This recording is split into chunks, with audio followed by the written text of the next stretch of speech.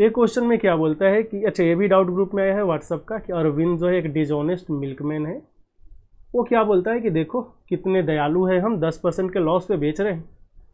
लेकिन वो पानी मिला के देता है और उसके बाद उसे ट्वेंटी परसेंट का प्रॉफिट भी होता है। तो हमें बताना है कि वो पानी में मिक्सचर जो है, जो दूध बेच रहा है, उसमें वाटर का परसेंटेज क्या है? तो पहले वो बोला कि देखो भैया, हम दस परसेंट लॉस पे बेचने वाले हैं। मतलब कि इसका मल्टीप्लाइंग फैक्टर क्या होगा?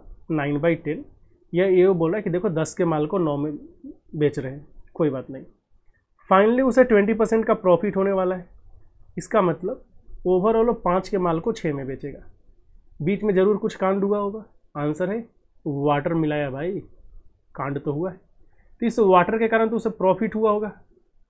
मान लेते हैं प्रॉफिट होने के बाद जो मल्टीप्लाइंग फैक्टर हुआ एम एफ़ तो पहले बोला कि नाइन बाई टेन से लॉस हुआ, लेकिन पानी मिलाने के कारण, उसे जो मल्टीप्लाइंग फैक्टर एम एफ़ के कारण प्रॉफिट हुआ, ये सब मिलके सिक्स बाई फाइव हो गया।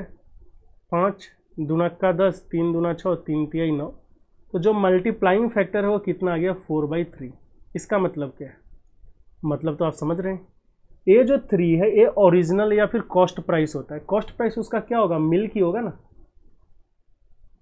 जो ऊपर आया है, वो प्रॉफिट या लॉस के बाद जो सेलिंग वाला टर्म होता है, वो होता है। तो ये तो मिक्सचर हो जाएगा। क्योंकि दूध में पानी मिलाने के बाद उसे मिक्सचर बना। कितना मिक्सचर मिलाया पानी मिलाया है। तो बोलेंगे कि एक, क्योंकि तीन मिल्क था, चार मिक्सचर है, एक पानी मिलाया। तो परसेंटेज ऑफ़ वाटर कितना होगा? परसेंटेज ऑफ़ वाटर की बात करें, एक पानी है चार में, गुना का सौ आंसर आ गया ट्वेंटी फाइव परसेंट उम्मीद है ये चीज़ें आप समझ पाए होंगे।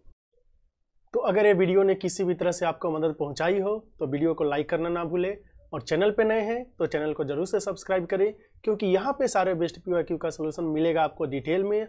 और अगर हम यहाँ पे कोई कॉन्सेप्ट डिस्कस करते हैं तो उठाएँगे बेसिक से, लेके जाएँगे टॉप तक। तो फिर मिलते हैं अगले वीडियो में एक नए सोल्यूशन के साथ और एक नए कॉन्सेप्ट के साथ।